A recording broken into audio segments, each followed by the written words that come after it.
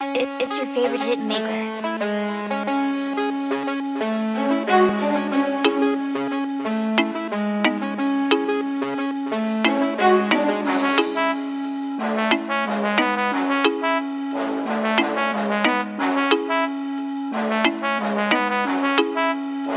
Eu Major.